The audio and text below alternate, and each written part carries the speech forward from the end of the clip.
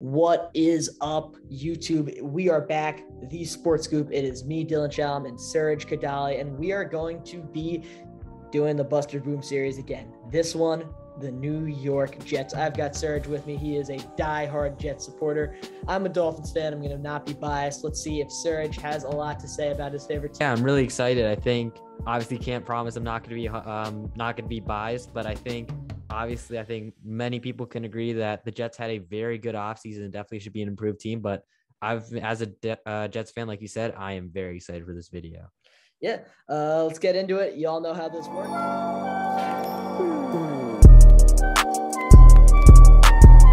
And for the first segment of the Bust or Boom series, we are going to be doing key players. And for the New York Jets, we're going to have six players that we're going to talk about three on the offensive side, three on the defensive side. And who else to start with other than the second year starting rookie quarterback out of BYU, Zach Wilson? Uh, I'll get into my thoughts after you do. What do you think? Yeah, I mean, this is a key year for Zach Wilson. I think obviously everyone can agree that it really wasn't an ideal rookie season for Zach Wilson. He threw uh, nine touchdowns along with 11 interceptions his stats weren't necessarily they weren't they weren't good. They weren't good. And he threw for 2,334 yards and a 55.6% completion percentage. But when you think about it, uh, even though his stats were very bad, it is so and what so many people fail to realize is the context of the situation that he was in. He was one of the most pressured quarterbacks in, in all of football last year he had next to zero weapons. I, I believe like a saw stat where his top three receivers, which I believe for the year were supposed to be Jamison Crowder, Corey Davis, and Elijah Moore, were on the field together for a combined 12 snaps, I believe. He had the worst deep ranked defense in the National Football League because of again the defense was also heavily injured and he really just and he had a rookie coaching staff. He had a rookie head coach and he had a rookie offensive coordinator in a system that is very typically hard to um, kind of grasp. And Zach Wilson was never really seen as that kind of guy who's going to step in and be that immediate great quarterback. He's uh he's needs to be nurtured. He's a bit of a raw prospect, and it really showed kind of in the early stages that he was one of the kind of he was raw. He wasn't exactly ready for the NFL, and he struggled early on. But we saw after he got injured, I believe against New England the first time, he came back and was much, much better uh, through down the stretch, nine touchdown, two picks, including zero picks in his final five NFL games. So really, especially with the amount of more weapons and much more protect- protection and even defensive support that he's going to get, there's no reason he shouldn't take a monumentous leap in a second year in a continuous situation. But um, definitely a crucial year for him definitely a crucial year for him to indeed. I want to just understand, I'll get into my analysis right after I bring up this point. How crucial is the second year for a quarterback? Because this season, this second year for a couple of hmm. quarterbacks, mm. we saw Joe Burrow make the Super Bowl. We saw Justin Herbert miss the playoff for the second time, but he's kind of a unicorn in a sort of that he's been on a bad team and he's been excellent. Then we saw Tua Tagovailoa and Justin, uh, not Justin Fields, uh, Jalen Hurts, who are both not great, but are still given a third chance would you say it's a two year uh, term for a quarterback or a three year term? If, if Zach Wilson it really, season, it really it... depends. I think if he shows up and shows no noticeable improvements, and the Jets are in a top five position, I think questions definitely have to be asked, especially considering the amount of help he's been putting put under. But if he puts up similar stats, let's say, for example, a Tua Tagovailoa or a Jalen Hurts, especially with his upside, I don't see any reasons why they couldn't go with him for a year three, especially if they aren't in a position to get a premier quarterback next year. And another another name that you really that you didn't mention was Josh Allen. I'm not saying he's going to be Josh Allen. Don't don't misinterpret that at all. But I'm just saying that the Bills did stick with Josh Allen after a second year after he put up bad stats as well. And I know again, he's a unicorn. I'm not saying I'm not saying he's going to be Josh Allen, but I'm saying what I'm saying is that the second year isn't the end all be all as some make it to be. I think it's a very important year, and I think he should definitely show improvement. And if he doesn't, I'm not going to say, oh, yeah, well, he's the next Josh Allen. He should be, we should wait another year. But I think he shouldn't, he should show improvement definitely. But I don't think he needs to be in that Herbert or Burrow class immediately. But definitely improvement is necessary. I didn't say he was Josh Allen because I know that's what you're thinking. That is the one thing I'm emphasizing. So don't use that against me. Stop using Josh Allen I'm not stop saying stop using I'm Josh. not no, no, no, no, no, no, no, no, no, I'm no, no. not Let me using finish. him Let me as a finish. Let me finish. No more. This goes to every fan that watches this video. We're gonna post this everywhere because I want this to be seen. We are not using Josh Allen as a blueprint That's not a blueprint. failing rookies in their second year. No, That- but that's what I'm- not- it- no, that's no, no. what no No, no no, I- that's not what I'm saying. But what I'm I'm not I'm here's the thing. He should be better than Josh Allen was in his second year. Because in his second year, Josh Allen was also I mean he was better. The team made the playoffs, but Josh he Allen still led a- the team to the playoffs in the second year. He wasn't good, but he wasn't playing. good. He wasn't good. I think Zach Wilson has more weapons than Josh Allen did in his second year, and sh- and obviously doesn't have the upside, at least physical, like his physical traits that Josh Allen did. So he should probably be better. But I'm I'm using the Josh Allen example to kind of just show that a second year quarterback doesn't ne- won't necessarily take a Josh Allen level leap, but they can still improve from their second year to third year. It's not like they just go from first year to second year, and if they don't improve, it's like, oh, that's their ceiling. That's it. They still have. No, no. I, I that's the point I was trying to make. I'm not trying I- to use Josh Allen's trajectory as an excuse for Zach Wilson to have another. No, I know, I know that's not what you're trying to do, but what it sounded like you were doing is saying, uh, what's it called? From second year to third year, he can make that Josh Allen leap because Josh no, Allen. no. I'm not. That's I'm not. sa- I'm like. not saying that. I'm saying that just because second year is very crucial, but I'm saying that a lot of people seem to think that oh, if they don't take that big year t- year two leap, then that automatically means that they're a bust or they're not. They've reached their Yeah, ceiling, yeah. and I'm just trying to say that.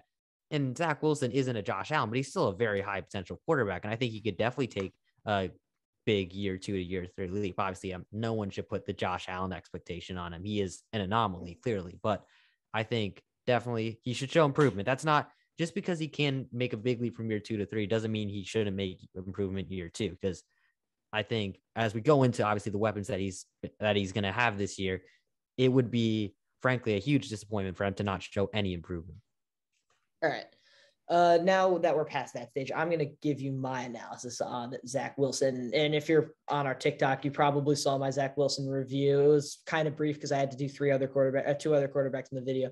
But overall, I think Zach Wilson's just volatile. I think he can be excellent, but I, I think there's way more downside that isn't talked about enough because of his last stretch in the end of the season where he was throwing the ball particularly short. And I know the weapons were uh, Jeff Smiths of what's of what's not, but uh, there was a reason that he didn't throw any interceptions in those games, and it's because he did not try to throw the ball into tight windows in those games. He was very, very, very conservative.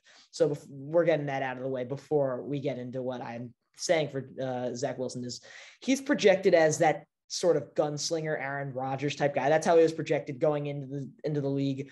And when he tried doing that, he just wasn't that. He was bad. He was really bad. Mm. And he had one good game against Tennessee. He got injured. He came back and he worked as a conservative quarterback and he played better, but he still wasn't that good.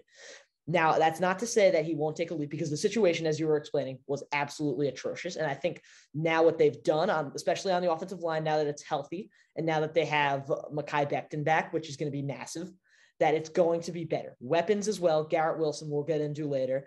It's going to be massive for him to have those guys. But I think people sell short how horrible Zach Wilson was as a gunslinger, do it on your own type of guy. And it might be because of rookie coaching staff. It might be because he had nothing. But I just want to put this out there surface level, no little context to no context. Zach Wilson was a bad gunslinger. Um, well, yeah, I think definitely he wasn't good as a gunslinger. I think that's kind of um kind of like the obvious point. But I think at the same time, I think we saw definitely a lot of games where he had actually very good deep balls that were actually dropped. I remember specifically an opening day game against Tennessee. You know, not Tennessee. What am I saying? Carolina. Against Carolina, where he threw like a freaking like 50 yard bomb perfectly into Elijah Moore's hands, which was dropped. And he also had a couple of, I think he had like a decent bit of, I think he was probably the quarterback who suffered the most from drops in the entire National Football League. I know people say, oh, well, every quarterback suffers from drops. Yeah, but they're not all on the same level. And I think definitely as a gunslinger, he wasn't he wasn't very good. But I think at the same time, again, when you're such a raw quarterback, you're going to and you're put in such a complex scheme as is the LaFleur scheme, it's just you might it might not work immediately, especially when you don't have the tools necessarily to succeed in it. And I agree though that he wasn't ready for that, and it was pro- it was the right decision to kind of get him familiarized with the quick game. But I think as one of the points that I really want to refute and is disagree is that Zach Wilson is just a gunslinger quarterback. He isn't a Matthew Stafford like quarterback. I think he is very he isn't again another great quarterback I'm going to compare him to that I'm not saying he is at all is Aaron Rodgers. He's in that mold where his amazing velocity on throws, like that arm talent is just indisputable.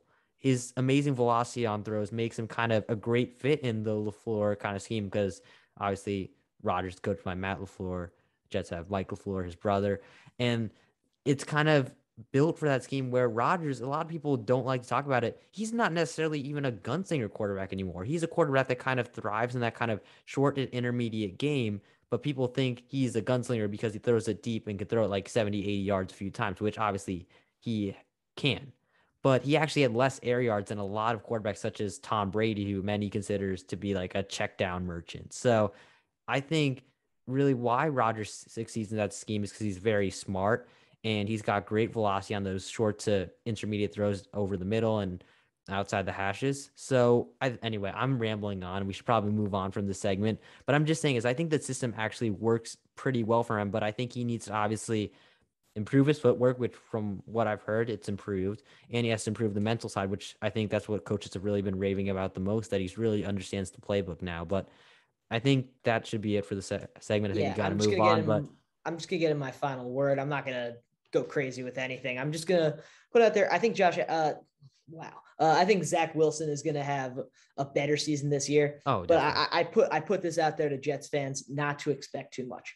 I, I was in the same situation last year with Tua Tagovailoa. I went out there and said Tua is going to be amazing this year. We're going to go 11 and six, and it, it didn't work out. So regardless of what you think your organization did for him, because I thought the Dolphins were doing great by Tua. I thought when they brought in Will Fuller, when they uh well, well yeah we get it we get it though. that's yeah. pretty much all they did. But uh I, I don't know why i thought they did great by him but uh yeah. yeah that didn't work out so well. Uh but year three uh zach wilson needs to brush up on a couple things. He's thrown some dumb picks not great as a gunslinger well, not great terrible as a gunslinger. And while he did reform his intermediate game i want to see him making those throws that you want from a number two overall pick before yeah. I can go and say that this team can compete for anything. So that's my final take on it. Let's move into the next key player on the offensive side of the ball, and that's Elijah Moore. Yeah. Um. Sorry. no, that's, that. but yeah. no, I think Elijah Moore is definitely he is another key part to this offense because we really saw him come onto his own during the um kind of towards the um towards like the middle part of the season where before he got injured and would miss the final few weeks of the season, he was one of the I think it was like from week 8 to week 13, he was like leading a num a multitude of stats in um, receiving categories and he was very very good. And I think he's kind of one of those receivers that kind of falls under the radar. I mean, not on Jet, not for Jets fans, of course, but for like NFL fans in general, because there was how good this receiver class was. Obviously, you got Ja'Marr Chase. We also got Jaylen Waddle, DeVonta Smith, who's been very underrated as well. Amon-Ra St. Brown, uh, probably a few others that I'm forgetting, but like those are obviously the main ones that um, come to mind. And Elijah Moore kind of didn't have, at least for counting stats, didn't have those same stats because either he was injured a lot or he just wasn't he wasn't he wasn't great to start a year. He wasn't bad necessarily, but he was just average. But then he really turns it on during like the midway point in the year. It's when until he got injured, he was one of the better receivers statistically wise in the National Football League. And I think really kind of going into uh into uh his year two when he's gonna have a significantly better uh, core around him uh, with obviously how who the Jets have drafted, who they've signed, who they're getting back from injury. I think he could really be insanely dangerous given his obviously his kind of versatility. He can play slot, he can play outside. His route running is amazing. He's got great feet, great uh good hands, I think. I think his hands, they're not great, but they're solid. And I just think overall he should be a key cog in this um offense, especially considering the chemistry really from day one he's had with Zach Wilson. I have a conundrum with Elijah Moore, and it's nothing against him personally. I don't really have much against him. He's a he looks to be a good receiver. His hands could do refining. His red zone ability can do refining. But other than that, I don't really think there's anything I can harp on to hate on him. But I just don't know where he's going to fit in the offense. If Corey Davis is going to be a boundary and Garrett Wilson's going to be a boundary, because they brought in three fantastic tight ends and I just don't know where he fits. They're not going to be able to play uh, a slot. well, here's the thing, but here's the thing. I'm just gonna go us off really quickly, but again, we got to make these uh, a bit quicker. But um, I just think that really kind of the Jets are going to use a multitude of looks. I think that one and two is going to be Wilson and Moore. And then you're going to see a multitude of looks where you're going to see one tight end sets, two tight end sets, two running back sets, maybe even running back and a fullback set the amount of looks that the Jets can use with this kind of uh, personnel this year is dangerous. And I think Elijah Moore, though, he's going to be one of those guys who's going to be a fits all scheme because he is one of the most important players on this team. And I think he'll probably be ahead of Corey Davis. I think Garrett Wilson, I think by the end of the year, he won't because he is a great player. I'll talk about him in a bit. But I think the amount of looks the Jets can use, it's just going to be scary. I think they'll use three receiver low a lot. And I think he'll probably see the field most of the time my problem with that though is I just don't see Elijah Morris being a great boundary wide receiver this season, hmm. uh, or a was, Z wide receiver. He, he, he was good. He was. He good, had his one good game in garbage time against Indianapolis as a as a Z receiver or as an X receiver even, but I, I just don't think he's I don't think that's what he's suited for. I think as a slot receiver, he can build himself into a niche that he can become a top 10 at that spot in the league. And I think he can go into top five anyway. if he if he works that out. But I just don't see I don't see him as that boundary guy. We'll see just, how I I think he was actually very good. Like you saw uh, him against Byron Jones, he absolutely kind of cooked him in on the outside. Oh, but, but that was in the slot. And then we're going to go to our third player on the offensive side of the ball, and that's going to be the left tackle, George Fant. Mm. I think, yeah, I think George Fant was again another player that again by a lot of NFL fans probably I think recognized, but not exactly really like, oh, is he really that even that good? He was actually one of the best left tackles in football last year, believe it or not. He was allowed the third least pressures out of all left tackles in the NFL. He was probably Wilson's most easily his uh, most consistent blocker. He was very good in the run game as well. He's only got one year left on his contract. I think the Jets are definitely looking to renew his deal given how successful he was on the left side. And I think really, I would, based on he, his performance uh, last year, is probably one of the main reasons why I think they're looking, the Jets are looking to kind of move, move Mekhi Becton, who was very, very good in his rookie year, kind of actually moving him to right tackle because of the fact that Fenton was so good as a left tackle last season. I think if he can kind of just replicate how his play was last year again, he's he's 30 he's 30 but that's not for a tackle that's not really that old offensive lineman. You see trent williams he's the best in the game he's 33 34 and i think fant is still i would consider in his prime. So i think this is a no-brainer in my opinion actually for jets key players. And if he kind of just um, keeps up his play with how much the jets have really improved the offensive line i think this could be a very very dangerous unit yeah, I think you said it all. He's just an all around solid blocker. He's the perfect guy to have on Zach's blind side. And I think that's pretty much all he needed and in terms of that the tackle positions. I think he said as long as Mekhi Becton isn't unbelievably fat.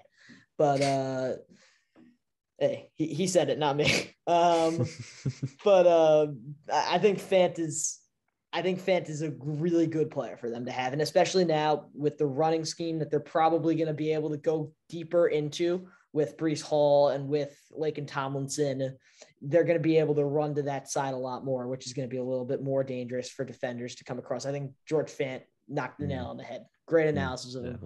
Thank you. And then now we're going to go to the defensive side of the ball. And I am a lot less optimistic as Mr. Kadali for the defensive side of the ball, but I'm going to start with someone that I do like, and that's Quinnen Williams. You go first, mm. though.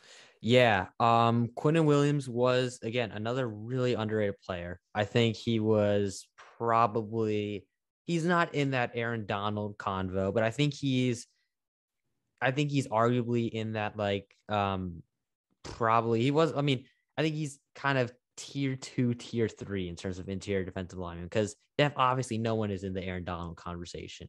And then you go into the second tier when you got guys like uh, Jeffrey Simmons, Cam Heyward, and Quinn was, I think statistically, he was pretty close to those guys. I mean, but I think he he's got the talent. I think he should jump into. I think he will jump into that category this year, but I think he's a bit off it.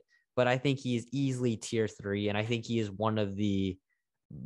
I think he's one of the better interior defensive linemen in the NFL. There's a reason why he was drafted third overall, and a lot of people like to label him as oh wasn't a great pick at third overall, but he's actually been a very solid contributor on a defensive line that's just been bereft of talent for so long, and that's really where I think he could really why I think he could excel this year, considering the fact that for the first time he's going to have really what should be at least very good edge rushers. And I think um, just kind of for the past few years, he's been very underrated. I think in um, year one with Saleh, he was actually performing really well. He was wasn't he was injured a bit. He was injured a little bit, but I think overall he had a quietly solid season. I think he is a I think he's just not what I mean. It's not much to say. I think he's just a very solid um, interior defensive lineman. I think he could maybe make that jump to elite. I think he truly has that potential.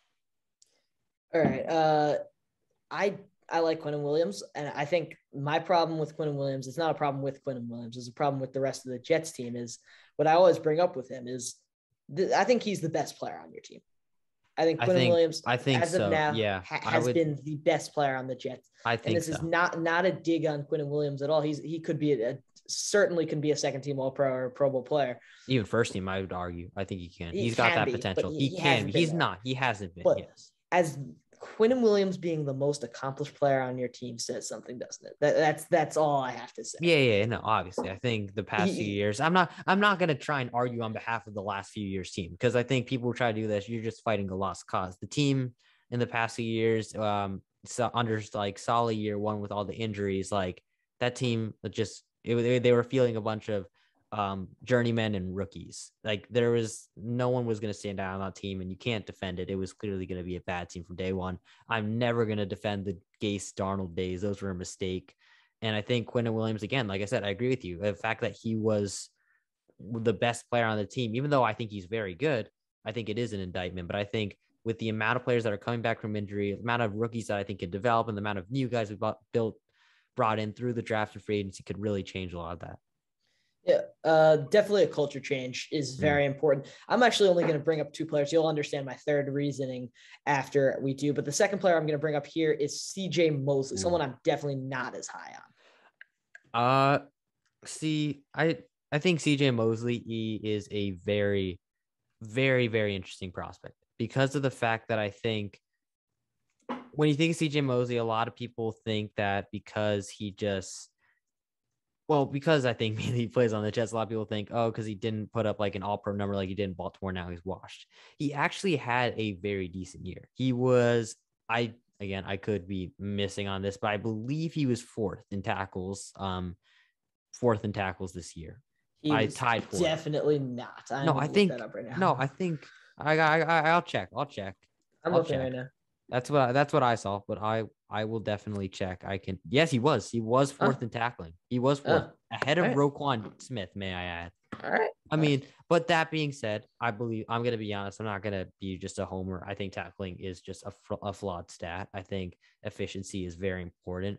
But the fact that a quote unquote washed CJ Mosley was fourth in tackling and also was above average in coverage, I think says a lot that he isn't a washed player. There's still a lot there. I think when I question the linebacking core, I don't really question CJ Mosley. I question the depth of the linebacking core, which again, maybe new additions, hint, hint, Kwon Alexander could really help that. But I think CJ Mosley definitely, based on just his productiveness, I think he is definitely a key cog in the system. I know Robert Saleh, the minute he got here, they weren't really sure on CJ Mosley immediately, didn't know how well he'd fit the scheme. Obviously, going from a 3 4 in Baltimore to a blitz scheme to a 4 3, but he's really said how well he how good of a football player in general he is that he can adjust to that system really well. So, yeah, I think CJ Mosley is definitely a key player, and I think he can. I think he's still not necessarily an elite uh, linebacker like he was in Baltimore, but I still think he's actually a very solid piece to this defense. CJ Mosley is a key player, and for you, it might be for the right reasons. For me, it's for the wrong reasons. And I don't think he's a particularly bad player. I'm not going to go ahead and say he has no talent left in him, but I think he has all the talent in the world that he always had And I think he has all of the brains, which is the most important part, which is Mm. what's going to play a very important part in this season for the linebacking core. But I think he's doing it on an overused mechanized body that can't run at full speed anymore. I You think can, no, you can run at full speed, but obviously not for the same amount of players. I think we're definitely going to see a lot more rotation. I think that's again why we're really prioritizing kind of adding depth to this uh, linebacking core, which I think is I, s- definitely I saw a clip the other day of CJ Mosley's change of direction in a game against the Colts, I believe. And he was trying to tackle, I believe it was Ashton Dulin on a, uh, I think it was a, I think it was a flip pass. And Dulin did a little juke move, and CJ Mosley just, he, I don't know what he was trying to do. And he just, it looked like he was 70. It was really fun. Yeah, but yeah, I, I but hope, I'm that's, to that's bring one play. That's No, one no, no. I know, I, know, I. I, have I have more to argue in my behalf, but I, I- was just bringing this up as an example. Even the game against I watched in its entirety against the Dolphins, he didn't look like he can tackle Duke Johnson. Yeah, I think the run defense was such a huge weakness, which again, why the point where tackling is a flawed stat. But He- I think in just- coverage, I think CJ Mosley being the head honcho in your linebacking room is it's not a good look unless you bring in Kwon Alexander. I think if we bring Kwon Alexander, reports are saying he's tending towards New Orleans, I believe. But No, I've heard the opposite. I've heard he's they're still in contact and still very, but Yeah. you, I mean, it's just it's all rumors. You never know, but I think that he's definitely one of it's. They're definitely one of the front runners still. Yeah, probably. But now you've got CJ Mosley, Quincy Williams, and I believe Hamsah Nasirildeen as your linebackers. That's yeah, your and? Jamie and Sherwood, Marcell Harris, and Del'Shawn Phillips is the other guys. So mm, I mean, yeah, it's, it's not it's a good not it's not a great linebacker core. That is the I acknowledge the weakness of this group. And my point of putting CJ Mosley as a key player is he needs to go back to 2018 CJ Mosley No, Ravens. no, he doesn't. Or this linebacking core doesn't fix. That's that's where I'm saying no, it. no, that's not true at all. Because Why do you as say that? as well, I the reason why I say that is easy because as much as you may harp on is that that the linebacking core is inexperienced. That's the point I'm going to use. What if the what if some of the guys that I think what if guys like Quincy Williams, who I think I'm really high on, I think he can actually take a huge leap in the system, become a not a great linebacker, but at least an average one. I think he could definitely do that. I, I really like him from last year. I think you got guys like Sherwood. Na- Sherwood was actually performing well before he tore his ACL. Nasirildeen, who I think is solid as a will, and you got Del'Shawn Phillips as well. Marcell Harris from the Niners, not great options, but depth they they're serviceable. I they're think depth options. You they're depth CJ op- and those those are not the ones I'm using. I'm mainly using Sherwood and Nasirildeen. But the point I'm trying to make is that, and Quincy Williams, obviously, but the point I'm trying to make is that it is completely inaccurate to say that this linebacking core will be awful if CJ Mosley isn't a 2018 version of him because that's just Well, not that- going to happen. Yeah, I might, I might have oversold it a little bit. I'm saying CJ Mosley needs to step it up from last Oh year. yeah, definitely. I hope. I mean, Or this mean, linebacker core is going to be bad. oh linebacker core will be bad if he. I mean, unless like Quincy and unless we bring in Kwon Alexander, then it's different. Yeah, but but you yeah, don't have to. yeah, I know, I know. Right. And now I'm, I'm just gonna cut it off here. That's that's the end of the CJ Mosley debacle. We're gonna go into the third defensive key. I'm not gonna say player, and I'm gonna let you monologue here. Robert Saleh. I've been waiting for a long time to hear why you are so confident in this man as a defensive coach and as a coach in general. Please break it down for me. I'm not even gonna interrupt at all. Okay. That okay. Well, I wish you had warned me on this because I am I definitely want to say this because Dylan and I, for the longest time, were kind of actually arguing really about the credibility of Robert Saleh. And I think a lot of people like to say, oh, well, because he he's not how, how good of a defensive mind can he really be if he had the worst statist- statistical defense? But I just think that is probably, in my opinion, one of the stupidest arguments ever. That okay, because and the reason why is because I mean, frankly, I don't think any any coordinator could have like kind of worked with this uh, defense. And it's not an indictment on the players that are still here, but the amount of journeymen or just rookies that were in the system that we had to rely on to play significant minutes. It's not only the starters. It's not because of the starters that we were so bad. It's because of the depth. Like at when Lawson went down, when um uh Jamien he already was not Sherwood, not Sherwood. Jarrad Davis from the Lions Ah. when he went down, when Blake Cashman was traded. Uh, no, not when Blake when Blake Cashman was injured, which he always is injured, and when um also uh, other edge pieces like um other other edge pieces. When how am I forgetting his name? The other Lawson, Shaq Lawson also went down. It's just and you also had I remember uh, the Jets had the most cap space on IR, which means our main investments were actually on the injured report. And most of those players were on the defense side of the ball. Not to mention he was relying on Bryce Hall and Brandon Echols, who were second year players and rookies, respectively. And in the secondary, you didn't have Joyner, who was also a player who literally signed to a one year deal, gets injured first play of the season. And the other safety was Marcus Maye, who also tore his Achilles midway through the year. So it's when you look at the personnel he had around him, but you look at all those injuries, and not only does it make your starting lineup worse, it makes your bench just you don't have depth anymore. So he was relying on guys like Ashtyn Davis, Jason Pinnock, Michael Carter II to play, not like Pinnock and Mark, Michael Carter II, but they were playing like the full game. They weren't getting rest. It was just those players consistently. And those were, and those guys were rookies. Like that was just so much of a toll that he had to put on them because they had no depth. And when you look at it, when the defense was actually even remotely healthy, and remember, this is, they didn't have Lawson the entire season. Their main free agency acquisition. They allowed 19 against the Panthers. They allowed 25 against the Patriots. They allowed 26 against the Broncos, 24 against the Titans, and before and 27 against the Falcons. Which, again, it's not great numbers. I'm not trying to argue that oh, it was great numbers, but when you also take into account that the Jets defense was on the field basically the whole game because that was the stretch where Zach Wilson was throwing picks left and right, it actually looks pretty decent. And then the whole team gets injured. Then they get absolutely dominated by the Patriots and the Bengals and the Colts and the Bills. And yeah, yeah, yeah, you get it. You get the point. But what I'm trying to say is that in the early stretch, when his team at least had some depth, some semblance of a defense, the team actually looked good. I was watching those full fourth first four games, and I can tell you that that defense was the reason why we were in all four of those games.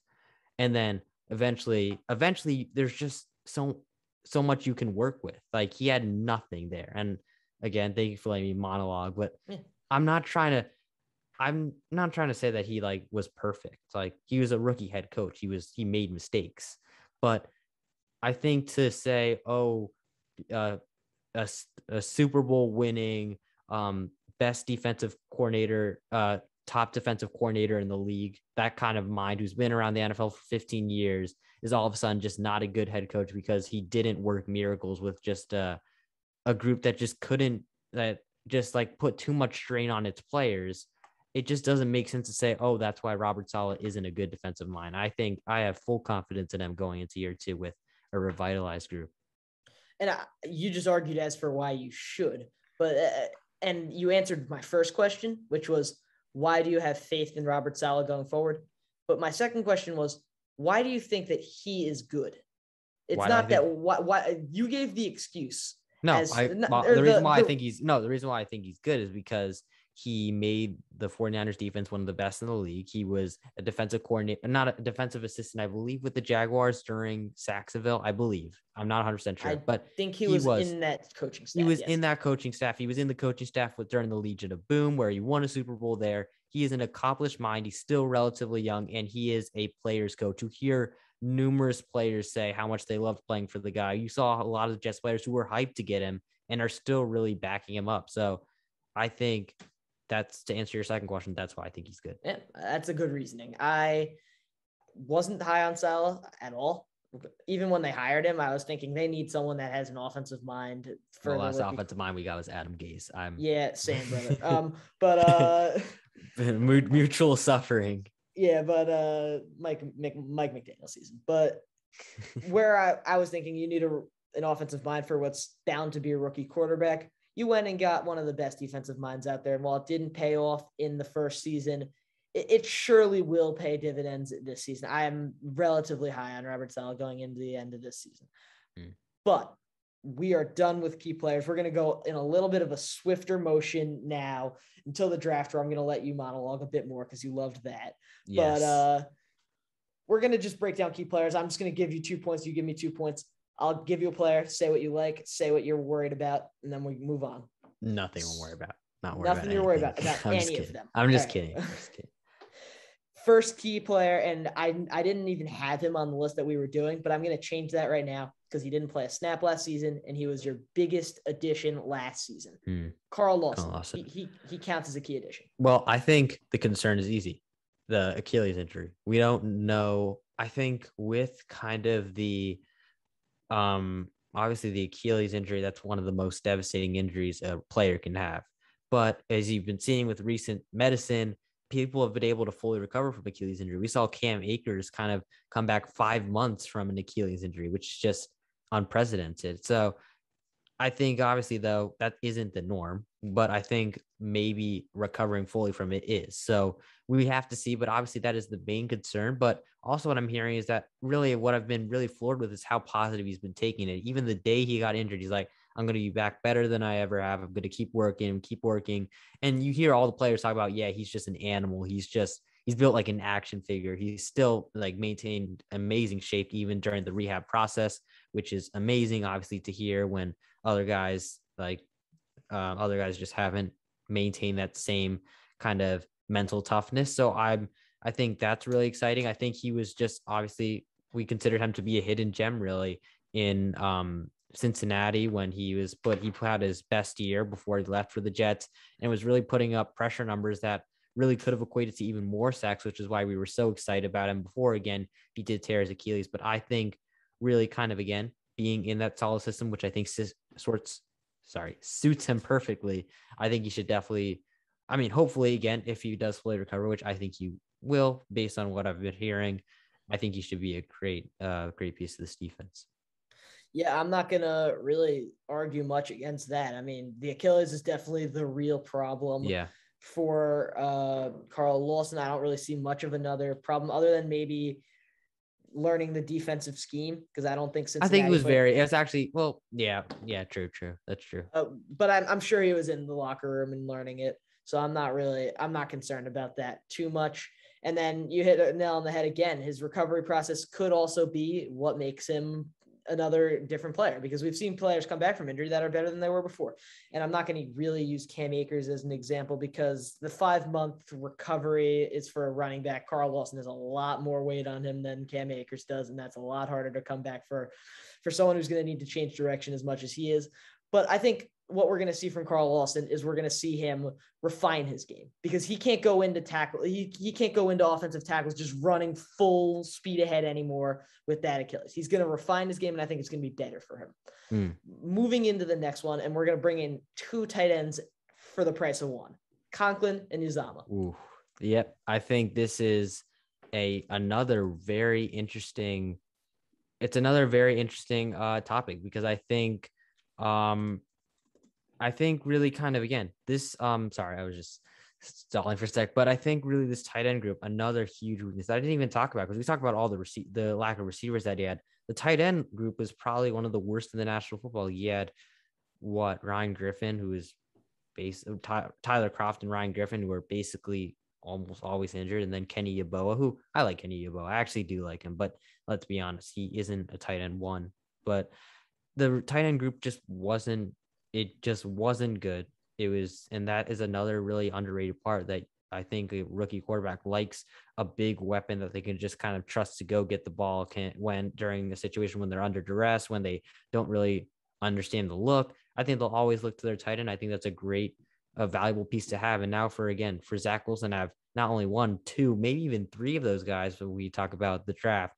I think especially with Conklin and Uzomah. I think they're uh, very great pieces. I think I could pull up their exact stats. They're not necessarily eye popping. Uh, they I I wouldn't categorize them as that because Uzomah he uh, had what uh, 493 total yards last year, uh, which was actually a career year. Funny enough, but the context also is that he was um, playing on the best receiving corps in football. He had Ja'Marr Chase, uh, Tee Higgins, Tyler Boyd, all to compete for targets, and was still a great red zone threat. When a lot of people, a lot of like you acknowledge that red zone, uh, red zone efficiency was one of um, the Jets' problems. The guys like um, Elijah Moore weren't. It, it wasn't a point of strength, and I think Uzomah can really help that. Conklin, another guy, a guy that's really been impressing in um, mini camp and OTAs, what I've heard. he also is another great piece, another piece that was kind of again also competing for targets with guys like um, Adam Thielen and obviously Justin Jefferson, and even you can say KJ Osborn was a solid Dalvin piece. Cook. Dalvin Cook, obviously, out of the backfield. And he also decent statistics 593 yards, also three touchdowns. So none of those guys were necessarily, they weren't great, but I think they were uh, above average. I would say above average tight ends. And I think to get two of those guys and to get um, Jeremy Ruckert in the draft definitely makes it from a bottom five tight end group to an above average tight end group, which I think, again, for a young quarterback is so important. So I think both of those guys, I love that addition. again, don't expect them to be Kelsey, Kittle, even Andrews or Waller. But I think they should definitely be huge upgrades from what we had last year. Yeah, uh, I'm gonna break down strength and weakness. I'm gonna break them down together because oh, one more thing, they are huge. They're great blockers as well. Sorry, yeah, that, that, that was gonna be my that was gonna be my strength for them. They're very important in the blocking scheme. I think CJ Uzomah was the most valuable blocker for Joe Mix mm. Joe Mixon last season. Huge. And I think that's gonna I, with Breece Hall being pretty much my Joe Mixon clone for this year. I think that's going to be massive for I think as a rookie. Also, and for Tyler Conklin, I'm sorry, I just want to interrupt because yeah, I think course, this is so cool. Literally, one of the more underrated parts of a tight end um, that people really don't realize that they do sometimes is that tight ends actually sometimes help in pass protection. And Conklin is funny enough. Actually, I saw one play where he was literally holding off Nick Bosa one on one in a block. I think I showed that to you because yeah. to prove that he was a great blocker. And I think just the fact that he can do that to a an all pro edge rusher is just that is scary. So I think both that's a huge upside that you're getting with that. But yeah, continue on. Yeah, that, that's my benefit for them. Uh, Conklin in pass pro and in run blocking, I think he was very good last year. And uh, specifically, Uzomah in run blocking was very crucial to the Bengals last season. Part of the reason that Joe Mixon was as good as he was. My my concern for the two of them is I just don't know how often they're going to be on the field together. And that's that's where the strength and weakness come together because we saw last year Conklin was the tight end. He there was usually one tight end on the field for Minnesota. There were times where they had Herndon and there were times where they had Irv Smith, but uh, no, there Irv weren't. Smith was out for Irv, the Smith was out all year. It was pretty much Conklin on his own. So that's not where I see the problem. But the problem was Uzomah because when they had two tight ends on the field, it was pretty clear that him and Sample were going to be blocking and Mixon was going to be running. When he was on the field by himself, the Bengals were throwing. And not to say that Zac Taylor and Mike LaFleur are going to run the same exact offense, but they're from the same tree. And usually the personnel correlates with the play call. Mm. So I'm not. No, I, I, I disagree. I think, yeah. Uh, no, you finish it. Sorry. I just go. think CJ Uzomah being on the field on his own means it's going to be a throw. And Jeremy Ruckert plays into this as well. I'm I just think personnel with the amount of players they have, shockingly enough, the Jets have a multitude of okay options that can confuse defenses. Mm. But I think if defenses can pick up when Uzomah's on the field, when Conklin's on the field, when all three of them are on the field, it's not going to be as confusing as one might think. Mm. See, I see I see your point, but I I disagree with the fact that they're going to use the. I mean, I know you're not saying they're going to use the, the exact same, but I know Zac Taylor and um, Mike LaFleur aren't for the same tree, but they're from similar trees, so I know what you mean. But um, I think the difference is, is that the Bengals love to use a gun. They love to use because a lot of places where Uzomah was on his own, he was in the slot or because the Bengals were running like um, a spread offense because Burrow loved to use that because he used it a lot at LSU and they the Bengals knew they had guys that were just lightning quick like Chase and they knew they had guys who could just go get it one on one like Higgins so they love to use spread and I think that was mainly the main reason why they use it. That's not really what the Niners do. That's not really what LaFleur would really do. And obviously the Jets, as much as I like their weapons, they are in Ja'Marr Chase, Tee Higgins, and Tyler Boyd. So I think we're going to see different looks. And I think in two tight end sets, the Jets can definitely, and I think definitely will throw the ball. I think we'll see a lot of times where they'll use kind of, they'll use two tight ends and uh, Wilson under center, and they'll use it to kind of disguise whether or not they're running or they're passing. And I think it'll be very dangerous because oftentimes when you have two tight ends on the field, you think, oh, they'll definitely run because the other tight end isn't going is going to be a blocking specialist. But the difference with us is that we have both the tight ends can catch the ball actually pretty well, which is I think both of them were top 10 in lead in drop percentage. At least they had like the least amount of drops. So I think that's another great uh, uh, kind of great thing about the, this duo. But yeah, that's what that's all I'm gonna say. Yep, we both made that way too long. supposed to be just quick. We're gonna hmm. we're gonna we're gonna try again here. Jordan Whitehead, one good, one bad. Yeah, uh, Whitehead. I think another one that I think is a very interesting piece. Um, the uh, uh, the great thing about him is he is one of the best run defending safeties in the league. I think that is a clear point. If you've watched his film in Tampa, he was an absolute um, menace in the run game. He was a great guy to use in the box. Also underrated coverage. He isn't he a lot of people like to say that oh he was below average coverage. He was actually a he, he was solid in coverage. He wasn't bad, but obviously the weakness. I mean, he was average in coverage. I think that that's what I'd say, and that's why I'd say that he wasn't like that's. I guess that's the weakness because again, you're he's a safety, so he's going to be in coverage, and he wasn't great, but he wasn't bad either. I think it's embellished, but I think having an average safety as a weakness isn't that average coverage safety isn't a weakness. And I think he's a well above average run defender. And again, run defense was the main weakness of this team. So I think if that's the trade off, I'm fine with that. But I think he is a another huge addition to this defense. He's a massive addition to this defense. I've mm. over time watching the film, I've grown into a uh, Jordan Whitehead truther.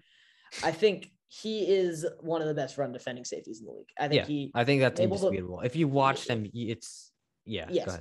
His mind and where he finds where the running back is going, he he pretty much knows right when the snap is called where he needs to be, and he's there. And that's and the exact thing we've been needing all like basically yeah. last year. My concern is having Lamarcus Joyner next to him instead of Antoine Winfield in the safety. Yes, I, I understand. That is that is terrifying in terms of just the drop off in the talent. And I well, know it's not like Joyner you're saying. Oh no, I'm not. I'm no. I'm not saying that Lamarcus Joyner is Antoine Winfield or even. I mean, I mean, he's obviously not Antoine Winfield, but they're making it seem like Jamar Lamar Jamarcus Joyner, Lamarcus Joyner is a below average safety. When I think, I, I mean, I that's exactly. What I mean. Saying. I mean, before he got injured, though, he wasn't. I mean, sure, he was. I mean, he was wasn't. I mean, he he wasn't great at the start of his Raiders. Uh, he was. He was Raiders no, no, no, no, no, no. I'll save you the trouble. He was bad for the Raiders. For the Rams, he, he was good. Was bad for the Raiders. three years ago. But yes, that, that was three years ago. But also, was, it was he, it was I'm with sorry. the Raiders and it was a different scheme. So I'm just saying that. Yeah. But it's been three years since we saw him play good, productive football. I don't think he is a good. But safety. then again, one of those years he was out the entire year, so it's not like he played two bad years. He played played two bad years. He played one year bad football with the. But he hasn't played good football in three years. That's but that's he hasn't. But he hadn't played football in a year. So I think it's like when you say he hasn't played football, eh, good football in three years, it makes it sound like he had two bad years. But he had one bad year, one injured year, which is a pectoral injury, which shouldn't like. It's not like he'll hurt his like straight line speed or anything I'm, like that. I'm not but... sold on him. I'm not sold on him, especially because Jordan Whitehead is he's not particularly fast. Like he's yeah, yeah. No, I see, you, I see it's just like over the top concerns. I see, like, but I think also another great thing about it is if Lamarcus Joyner isn't good, I think he'll be okay. I think he'll be fine. He won't be great, but he'll be fine. And then if you don't get him, you've got great uh ex- young players with potential like Pinnock and Ashtyn Davis, who I think aren't necessarily great pieces, but they're pieces that can potentially break out. And you're talking about speed, that's your concern. Jordan Pinnock is a converted slot into a safety.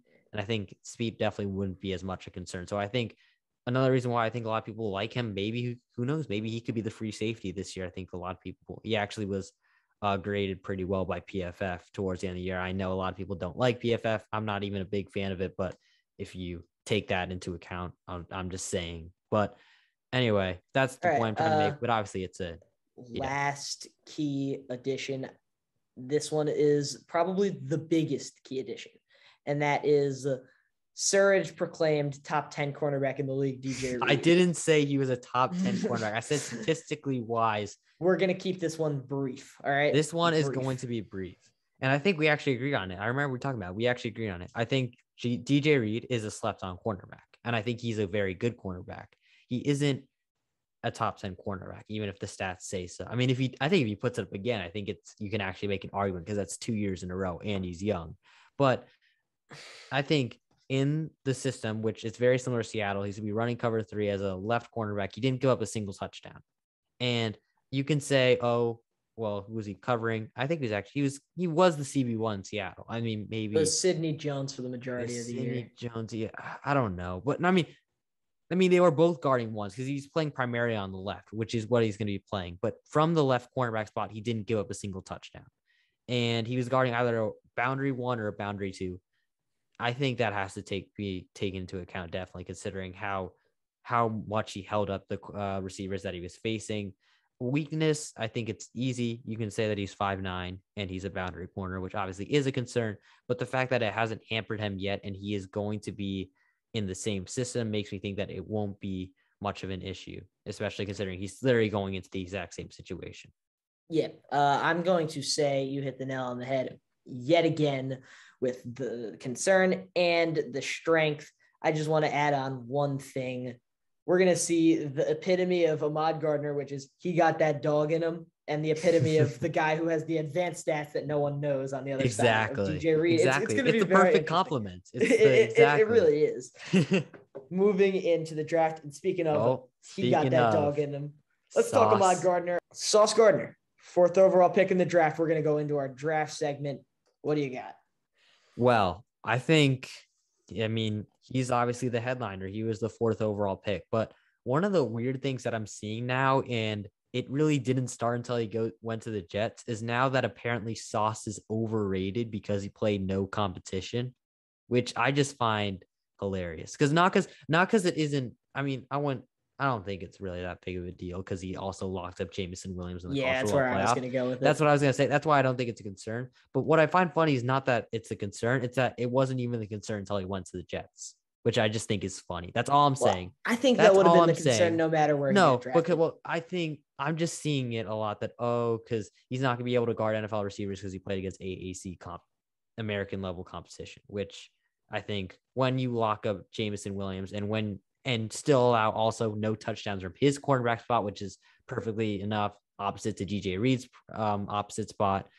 I think he should be. I think I, I think he should be great. I think, um, obviously going to be pay, playing tougher level competition. But one of the things I'm hearing about him is that he's also one of those guys who just doesn't make, make mistakes twice. He makes if he makes a mistake, he'll he's a great learner. He'll learn from it. He won't make the mistake a second time. And I think being obviously a lot of guys are gifted with great athletic talent. So not sauce level when you're six three and just as long as he is, but still great yeah. talent. But if you're willing to learn from uh if you're willing to learn and willing to kind of you're a great learner and you don't make mistakes, then uh I think bro, come on, man. Come on. Yeah, keep going, keep going. Come on, but uh, you know what I mean.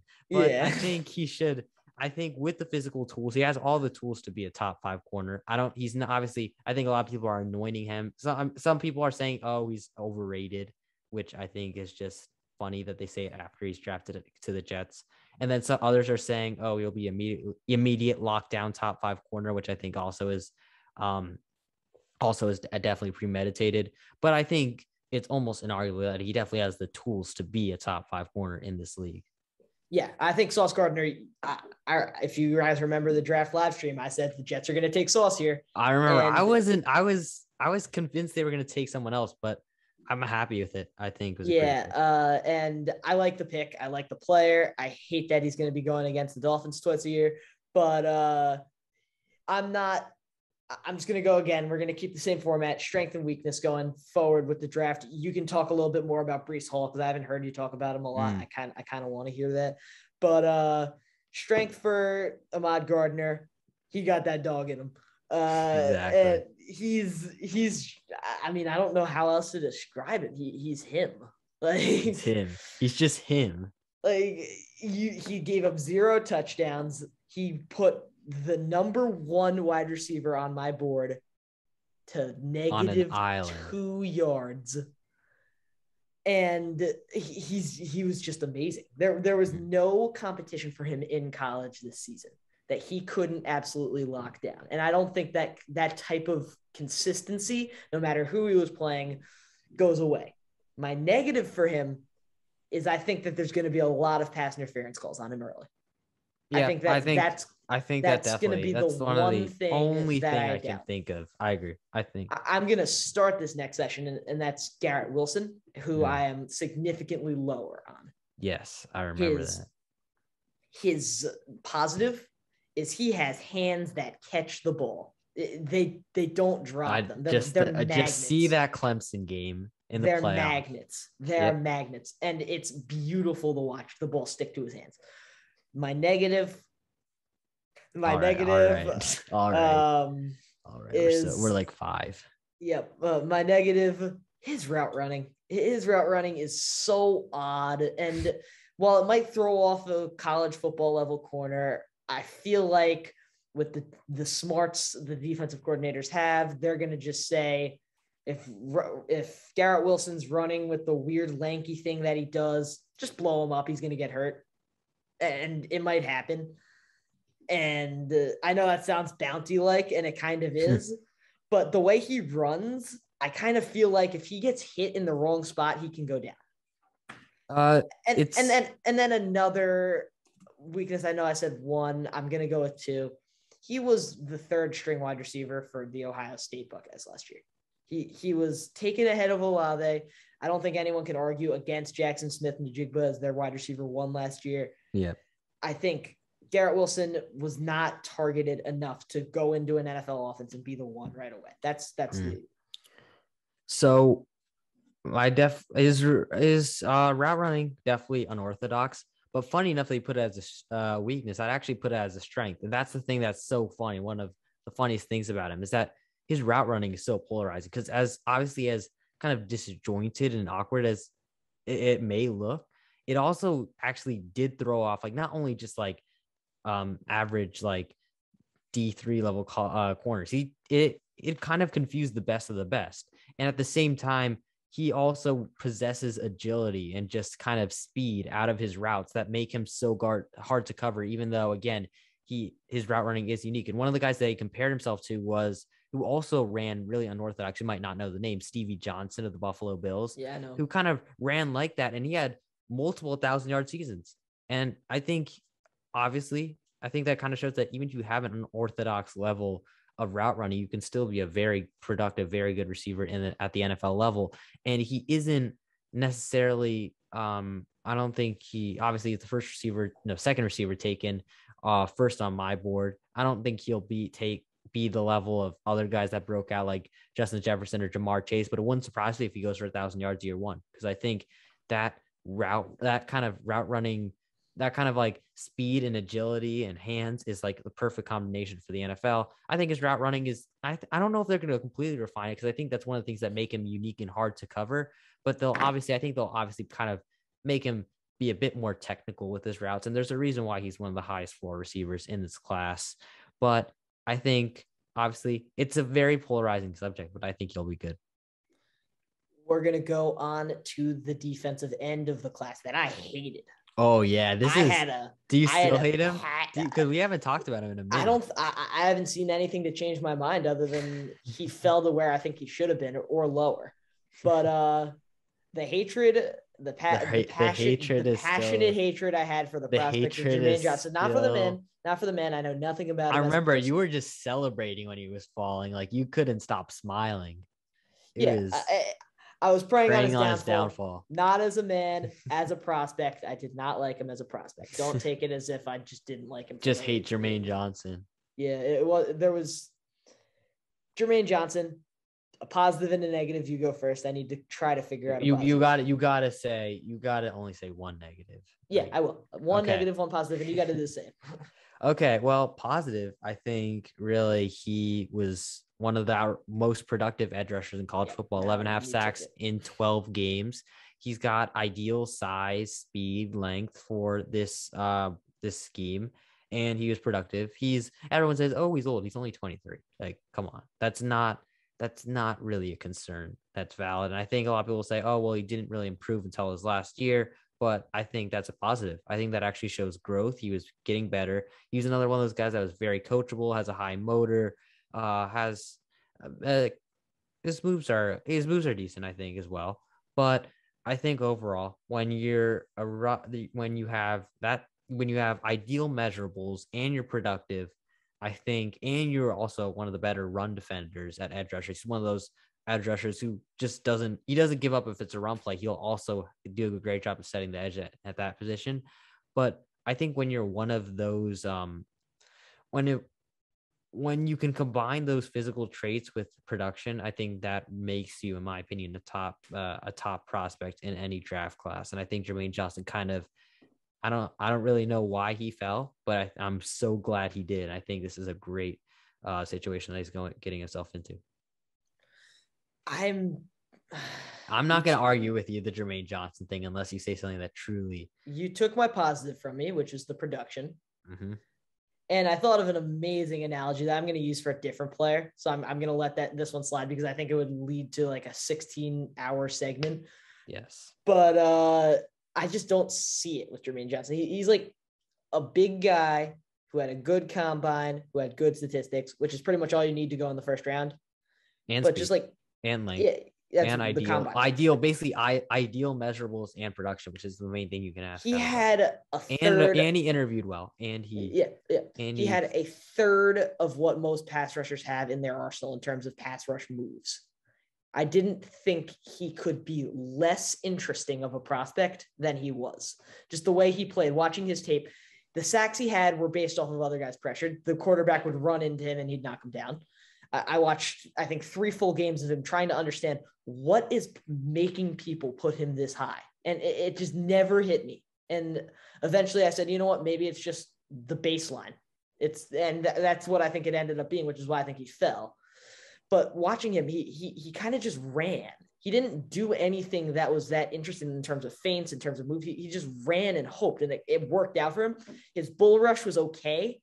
He had he had pretty much nothing else. That, that that's my negative. I'm not going to bull rush is very good. I mean, like No, no, it wasn't that good though. It didn't. He he didn't consistently. I mean, if you get an down. 11 half sacks from just a bull rush, then But that wasn't just what he was doing. There were quarterbacks that were scrambling, and I think most of the sacks were quarterbacks just like running for dear life and him like clipping so, so 11 and a half sacks just happened because the quarterback happens to just make a mistake. Obviously not. But from the games I, from the games I watched and from the sacks I watched, a lot of them came from just weird plays, like him clipping legs, him pushing defenders into the quarterback. Like Well, that's was that's weird. again, that's a bull rush. I mean, yeah, yeah. but uh, well, I- I just don't think see a lot well of when I when I see that when you see that maybe you say oh well his moves just aren't very refined. I'm like that's okay. That's fine. That's what coaching is for, and that's another reason why I think yeah. when you have those measurables and already those production, all you need to do is kind of refine that. I think that's definitely something that they can do.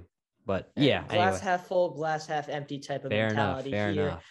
We're going to the last player. I know I said we were going to talk about Ruckert. We unfortunately do not have time if we we want to get to the not have record time. segment.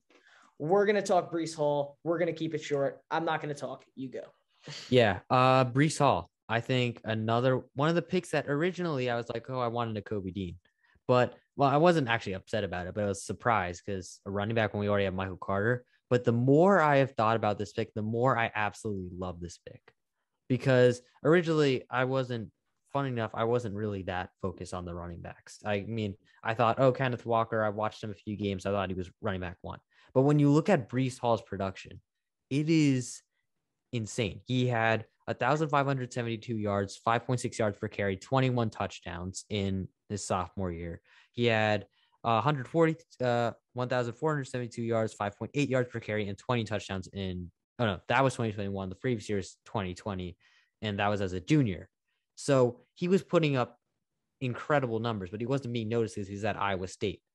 So he was putting up elite, elite numbers for running back. And when you watch his tape, it's just it's mesmerizing. He looks he his patient like he's a big guy. He's a big guy. He's got but he's a big guy and he still has really good speed. Like four, I think it's sub four four. I believe. I think it's like four three nine. I believe he was. I think he was like four four one, but like I, in that. I don't know. It was in that range, which is insane for a guy that he how big he is. He's uh he's a big guy, but he's still in he's still really fast, also really good catching out of the backfield.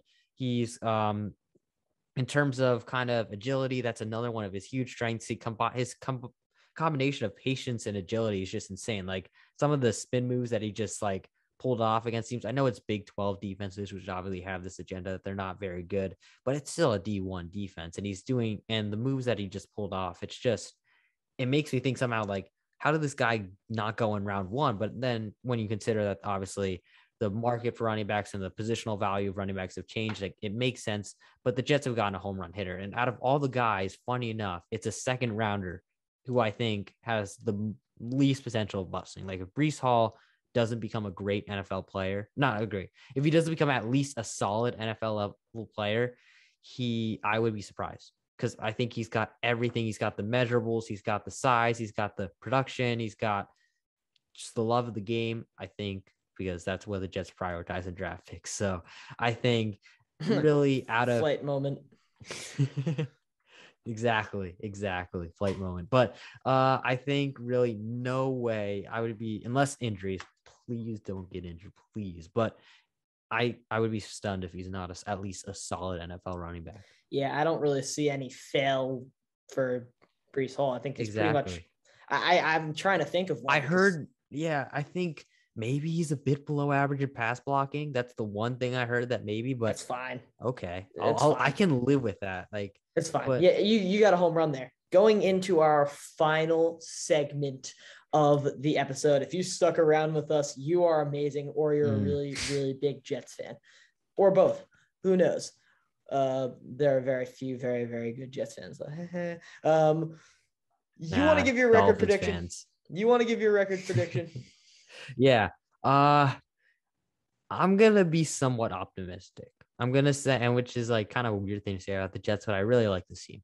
I'm gonna say seven to ten which again sounds sad to say optimistic, but I think given like Dylan said, how hard you didn't say this yet, but we've been talking about it. This schedule is so hard. This is such a difficult schedule that it's just going to be so difficult to get around. But when I look at the games that we play, as good as every as most teams are, we actually can match most of the teams because we don't have necessarily elite a lot of elite players at least at least yet we don't have that many elite players but we've got a bunch of guys that are just at least average or above average in every position. The only position that I would knock as a weakness is linebacker. I think the rest of the team, just as a whole, is built just so solidly, just like every no position is necessarily outmatched against many of the teams that I play. The only teams that games that I think are just I feel like just so hard to win that I just wouldn't count on the team to win is Buffalo away. I think that's just almost an unwinnable game and probably I'd say for some reason, I just think Denver away is just never, never a good matchup. I, I hate that. I hate playing Denver away. And with Russ, I think that's almost unwinnable. But other than that, I think I'm not saying we're going to go 15 and 2, but I'm saying every team we can at least say, well, we have this, so we have a fighting chance, and we have guys that are young and exciting. So I feel that. The what I think about it when I look at the games, I think a lot of difficult matches, but very few that I would say, no way we win this, which is yeah. why I'd say seven and 10. I'm gonna two down you. I was gonna say six and eleven, but now that I think about it, you never beat the Patriots, and I'm not gonna give you the satisfaction. See, here's the thing. Here's the thing. What I'm gonna say. You probably have us losing to like all the great teams, and we probably weirdly no, no, enough, no, no, we'll get, no, no, we'll no, get no, swept by the Patriots, but we will win the games that you just don't expect us to win. No, like, I have we'll you, somehow you, beat the Bills at home. I, I have you beating the Patriots. Uh, not the Patriots, the Packers. That was the one that I had you beating the Packers when I did this whole thing. I'm not going to go through every game I had, hmm. but I think you guys, I'm just going to say the Jets. I'm not going to go with you guys every time. Um, the Jets, they have pretty much a roster that is built to work this year and succeed next year. And I think they're going to do that through losing and they'll take their wins where they can. Injuries could make this a 5 and 12 team. Injury can make this a 3 and uh, 14 team and if they stay healthy, this team could go nine and eight. There's not, uh, I don't think there's a very good shot of them winning nine games, but it's a possibility. I'm gonna go with five and twelve though, because I'm not sold on Zach Wilson. I'm not sold on Robert Saleh, and they need more time to work it out. I know they have the whole offseason in training camp, but given the hard schedule they have, no matter how well they built the trenches, the composition of their roster, those are the two most important pieces to the team, and they just haven't quite found it yet. And I don't think they're going to by the start of the season. That is my reasoning. But I think that is all for the video. I really appreciate all of you guys. We are going to be posting a lot of these clicks, clips on TikTok, Instagram. Hopefully, if you guys are here watching the YouTube video, that means we did pretty well on the YouTube video. So uh, appreciate everything that you guys have done for us. road to 2K, very, very slow road to 2K, but we're gonna we're gonna take it where we can get it. We're gonna have some podcast episodes, more bust or boom. We're gonna try to get to every team, and uh, we hope to see you guys in the next one. Thank you.